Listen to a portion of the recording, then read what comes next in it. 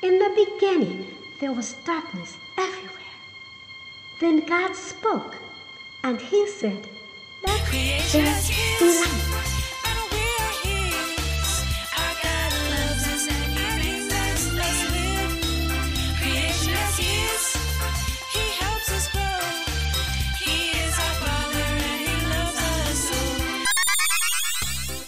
Hi, children of God. You're so beautiful. My name is Auntie Shebrew, and I'd like to welcome you once again to the Creation Us Kids School of Science. School of Science! Hello, my name is Kimani, and this is my sister. Hi, I'm Jamai. Welcome, Welcome to, to, our, our school. school. God made light on the first day of the week, and there are many kinds of lights, like night lights and flashlights and the light in your room above your head. There's lightning bolts and street lights and all kinds of lights. But did you know that light comes from fire? What do you know about fire? Fire is a beautiful thing. It can also be very dangerous though. Fire is not just something, fire is something that happens. Fire burns and gives heat, it breathes and gives light, and it also does many other things.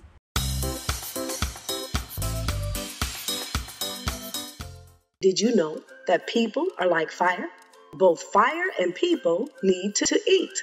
Well, fire eats wood and paper and houses and candle wax and things like that.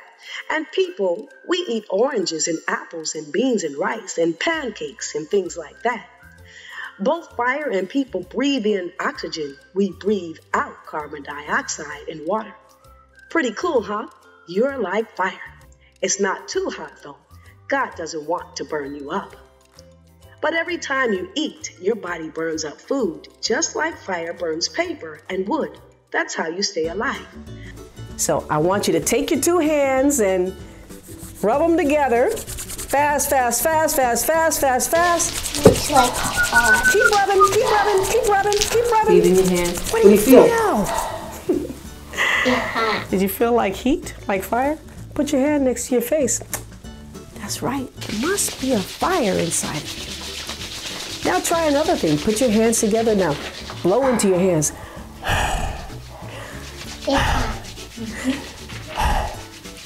what was it?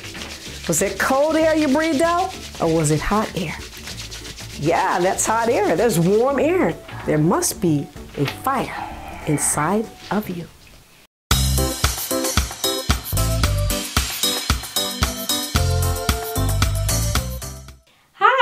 My name is Wambui and this is my friend Saiyah. We're here to show you our art project, the candle. You can make this at home with your parents. All you need is construction paper and some glue and a stick. So we started out with cutting different color pieces of construction paper and we glued them on our big piece of construction paper. So we cut out a rectangle for the wax of the candle, we got a stick for the wick of the candle, and then we cut out four different colors of construction paper for the flame because there are four parts to a flame. So here we have our labeled version of the candle and there are three parts to the candle and four parts to the flame.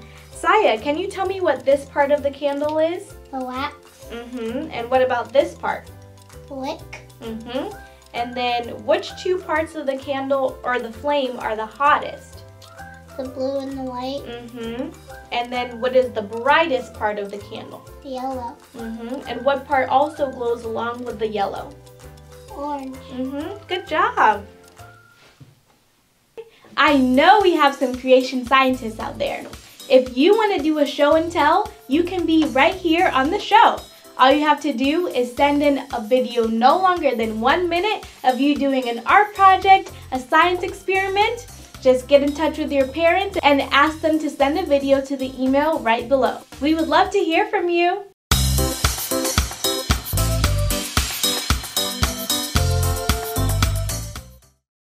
Now it's time to do a story. But for this story, you got to get a pillow because we're going to imagine that we're in the land of the big fire. In the land of the big fire, we're to see little Musa and we're to see Papa Musa. Now, this looks like Papa Musa's stick. You see this? This stick comes from Africa. Isn't this a beautiful stick? It has the face of a man on it, a little knob so they can hold on to the stick. And this stick helps people walk, especially when it's hard to walk when you get a little older. But this stick is also used to show that a person is powerful. When people see this big stick, they know the person is powerful. Just like fire. Fire is very powerful. And remember, God is the big fire, and He loves us so. All right, you got an opportunity. Go get your pillows. I'll play a little music for you. On the first day, God made the day when He said, Let there be light. And on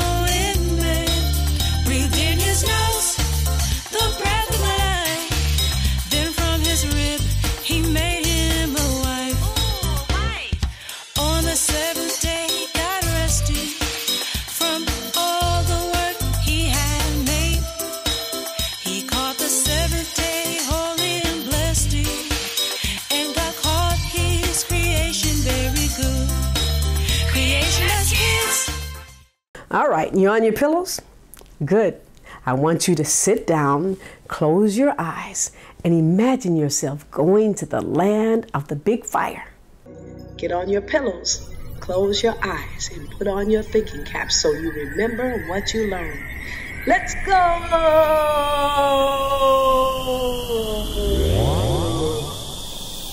Here we are. There's little Musa and his grandmother right there in the kitchen. Listen to Granny. Little Musa, aren't you gonna eat your pancakes, son? It's almost time to go to school. I know, Granny. I'm just not hungry. There's something wrong with you, little Musa. Pancakes is your favorite breakfast. Granny, I don't want to talk about it. I'll take a nap so I can eat it outside.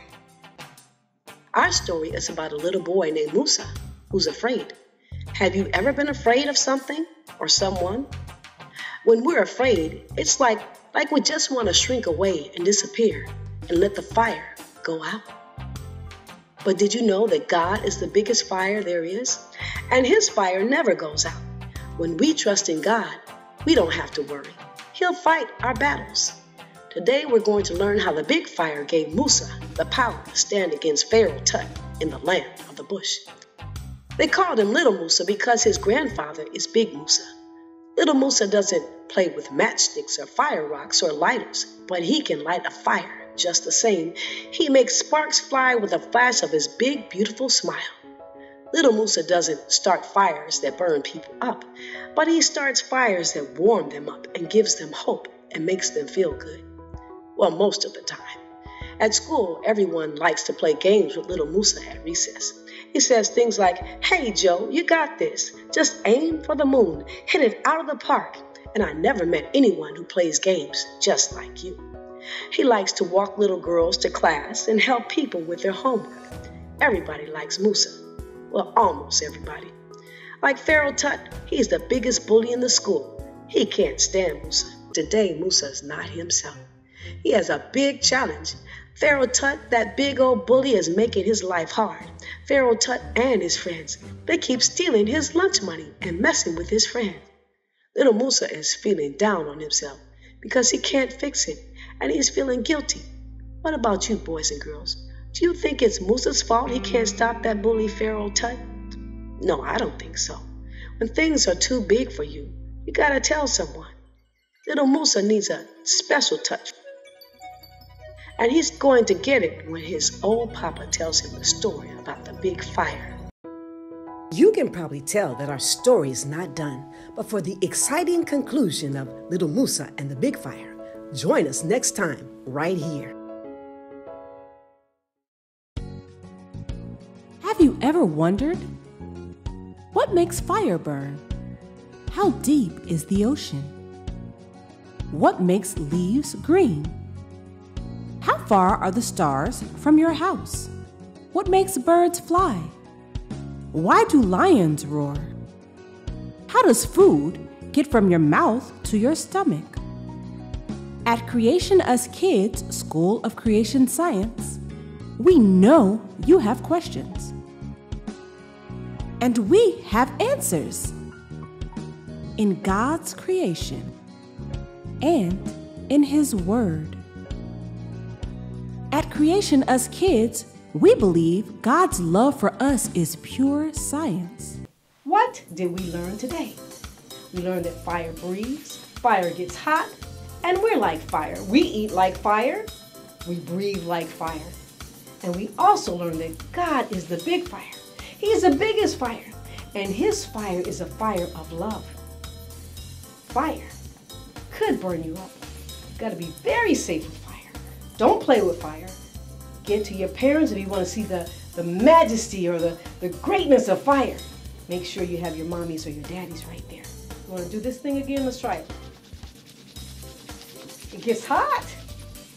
Use your hands for good, not bad. Until next time, remember, God's love for us is pure science.